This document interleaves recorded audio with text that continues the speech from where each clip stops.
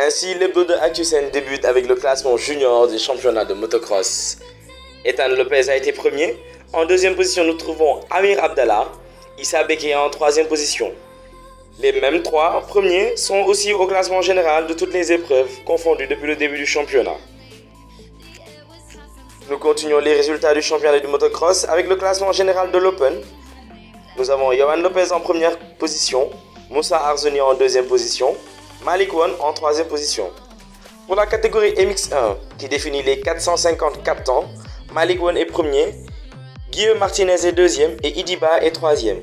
Pour le MX2, avec les cylindres de 250 captants, nous avons Johan Lopez en première position, Moussa Arzoni en deuxième et Noan Hans en troisième. Pour la catégorie vétéran, nous avons Stéphane Martorelli et Pierre Dao.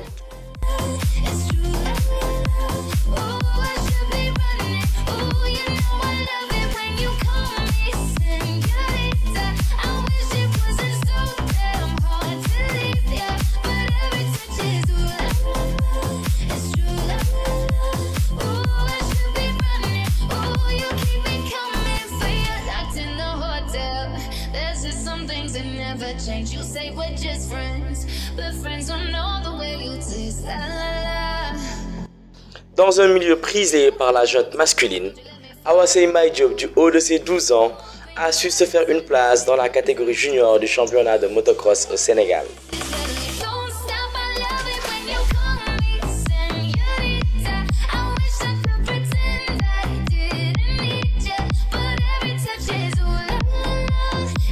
Le BRT, un transport public électrique pour la banlieue dakaroise.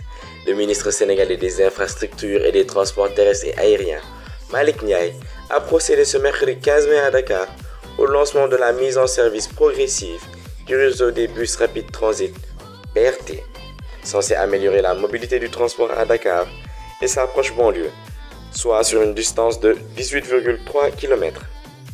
Le BRT s'inscrit dans une stratégie de développement du transport de masse et va contribuer à réduire de moitié à 45 minutes la durée moyenne du trajet entre Dakar et Guédiawaye.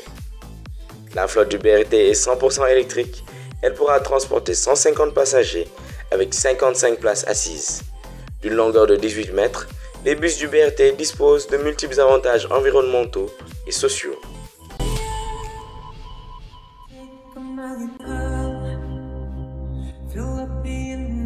Une édition finale pour la Caterham 7 à aspiration naturelle. Après 10 ans d'existence, sa production sera arrêtée.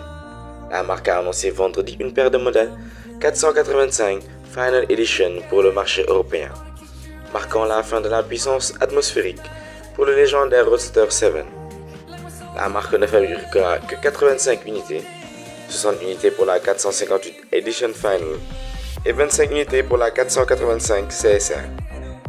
Les deux versions sont équipées d'un moteur 4 cylindres Ford Duatec de 2.0 litres, produisant 225 chevaux et 151 livres-pieds de couple. Il sera associé à une boîte de vitesse manuelle à 5 rapports et à un différentiel à glissement limité. Le 485 peut atteindre 62 miles par heure en 4.1 secondes, alors qu'il se dirige vers sa vitesse de pointe de 139 miles par hour. Le 485 Final Edition est disponible en notion de châssis standard et grand tandis que le 485 CSR n'est disponible que dans la plus grande taille avec la suspension avant intérieure. Il est environ 7 pouces plus long, 9 pouces plus large et 1 pouce plus haut que le 485 standard. Les 485 Edition Final sont disponibles à la commande dès maintenant. Le prix de départ du modèle destiné au marché européen est de 67 495 euros. Pinin Farina et BMW une collaboration de rêve. Le Midsummer est une collaboration entre le constructeur britannique de voitures de sport Morgan et la maison de design italienne Pininfarina. Cette édition limitée Barchetta sans toit évoque l'esprit des années 1950. Seulement 50 unités seront produites et sont toutes vendues. Il est doté d'un 6 cylindres en ligne BMW de 335 chevaux et d'une boîte de vitesse automatique à 8 rapports. Le modèle se vendra aux alentours de 200 000 dollars. En moto. Depuis longtemps, Ducati honore ses plus glorieux pilotes avec des séries spéciales. Mais parfois, l'hommage se porte vers d'illustres personnages n'ayant jamais piloté pour la marque. Ayton Senna est l'un de ces personnages. L'un des plus emblématiques pilotes de l'histoire de la Formule 1 nous a quittés il y a longtemps, mais son souvenir reste fort. En dehors de son baquet, Ayton aimait les Ducati et Ducati le lui rendit. La firme de Bologne puise autant son inspiration dans le drapeau brésilien que dans la déco du casque de Senna, une dominance de jaune un peu agrémentée de bleu et de vert. Le capot de sel et la casquette de phare sont assortis à cette air de samba. Portez attention au S incrusté dans la selle bleue et à la devise marquée sur le réservoir Racing is in my blood. Ducati a créé cette série limitée Senna sur la base de la Monster SP. Cette dernière se distingue avec des suspensions Hollins, des échappements Terminioni, des pièces plus légères et des étriers de frein Stilema. Ici, la dotation monte d'un cran avec une finition jaune. Pour les mâchoires Brembo, des jantes en alu forgé des garde-boue en fibre de carbone, un amortisseur de direction Hollins réglable, des repose-pieds en alu usiné et un sabot moteur. 341 Monster Senna seront produits. Ce chiffre a été choisi pour célébrer les 3 litres de champion du monde et les 41 victoires du meilleur rival de Prost. Le numéro de série sera inscrit sur une plaque fixée sur le T de fauche. Comme de coutume pour ce genre de spécialité, la moto sera fournie avec un certificat d'authenticité une housse de protection dédiée. Compétition. En MotoGP, Georges Martin de Pramac s'est imposé lors d'un Grand Prix de France MotoGP acharné pour battre Marc Marquez et Francisco Bagnac et ainsi étendre son avance au championnat. Après avoir dominé la course de sprint samedi, Martin a converti la pole en une deuxième victoire au Grand Prix de la saison 2024 pour ouvrir une avance de 38 points au championnat. 6 heures de Spa, Jota a remporté sa première victoire au championnat du monde d'endurance au cours des 6 heures de spa mouvementées ont repris après une longue interruption sous drapeau rouge.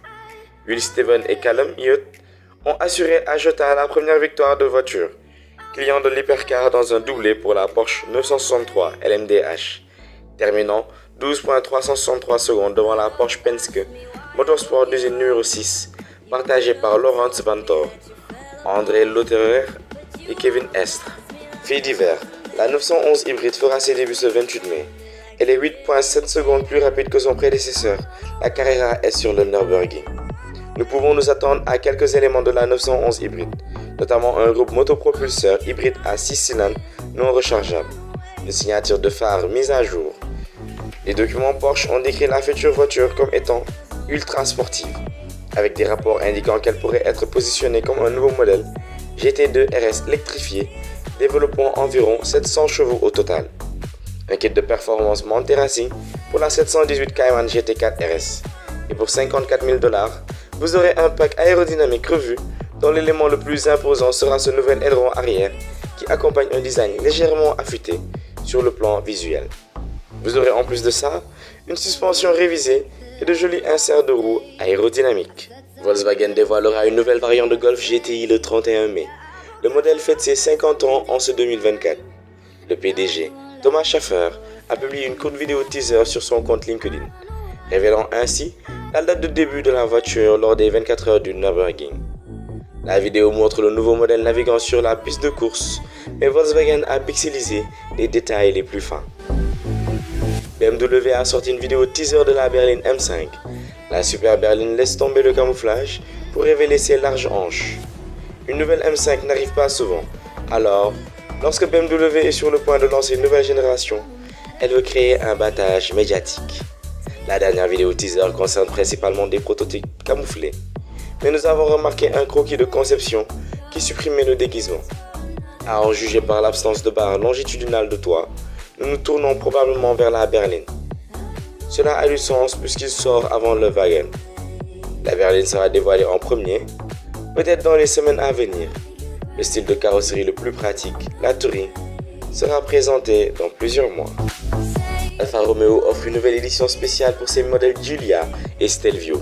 Les modèles en série limitée portent le nom Super Sport pour marquer la première victoire d'Alfa Romeo au 1000 Miglia de 1928 avec la 6C 1500 Super Sport. Le logo emblématique du trèfle à quatre feuilles présente un triangle noir au lieu du fond blanc habituel. Les modèles ont une peinture métallisée Nero Vulcano, mais la Giulia et la Stelvio sont également proposés dans une peinture Rosso Etna à trois couches. Alternativement, la berline peut être peinte en Bianco Alpha. Optez pour la berline Sport et vous pourrez opter pour un toit en fibre de carbone. Alpha équipe la Julia quadrifoglio de roue de 19 pouces, tandis que son homologue SUV roule sur des alliages plus grands de 21 pouces. Tous les deux sont équipés d'étriers de frein noirs et d'un système d'échappement Akrapovic avec finition en fibre de carbone. Les rétroviseurs sont également en carbone, tout comme le slitter avant de la Giulia. Le véritable point fort se trouve à l'intérieur, où Alfa Romeo a appliqué de la fibre de carbone rouge sur le tableau de bord, la console centrale et les panneaux de porte. La marque italienne mentionne qu'elle a un effet 3D et complète les coutures rouges sur les sièges. Un examen plus attentif des appuis-têtes révèle combien de voitures seront fabriquées? 275 exemplaires de la Giulia et 175 pour la Stelvio. La Suzuki Jimmy XL ATH a des graphismes rétro sympas. Le petit tout-terrain est doté de bavettes rouges.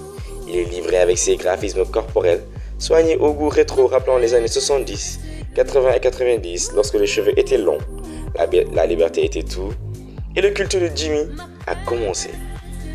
Les clients australiens peuvent l'avoir en bleuâtre noir nacré, vert jungle, gris granit, blanc et ivoire.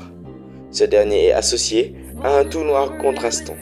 Ce Jimmy XL Heritage est livré avec de nombreux avantages, allant d'un écran tactile de 9 pouces à une caméra arrière. Suzuki souhaite pour les 500 exemplaires prévus 1500 dollars australiens supplémentaires pour cette édition spéciale par rapport à la version standard sur laquelle elle est basée. Il est également 3000 Australian Dutch plus cher que le modèle à 3 portes de l'année dernière. La Bentley Continental GT 2025 aura 771 chevaux. La nouvelle GT plus puissante sera équipée d'un groupe motopropulseur hybride rechargeable, ainsi que de 4 roues directrices, d'une transmission intégrale et d'une vectorisation du couple. Elle offrira jusqu'à 50 miles d'autonomie pour les véhicules électriques uniquement, sur la base du protocole européen WLTP. Toyota confirme le lancement d'un camion Hilux électrique pour 2025.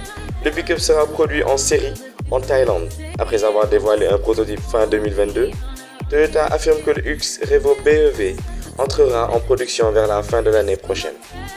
Le nouveau Hilux sans moteur à combustion rivalisera avec l'Isuzu D-Max électrique, qui sera également assemblé dans ce pays d'Asie du Sud-Est. Toyota mentionne que son prochain camion électrique sera principalement une affaire de Thaïlande, mais envisage des marchés d'exportation.